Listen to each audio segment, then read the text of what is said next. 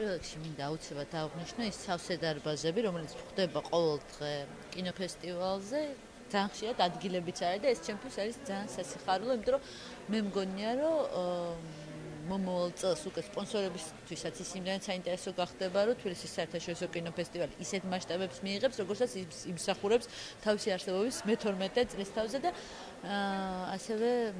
ის ორგანიზატორებიც იმსახურებენ, რომელიც მე-12 წელია უკვე ესე ერთგულად ძალიან ცირე ფინანსების ხარჯი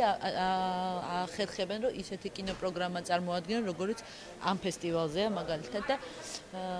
რამდენიმე ფილმი ვნახე სულ და ძალიან დიდი მადლობა ორგანიზატორებს იმისათვის, რომ გვაძლევენ საშუალებას ისეთი პრემიები ნახოთ, რაც სხვა საერთაშორისო ძალიან სერიოზულ ფესტივალებზე არის წარმოდგენილი.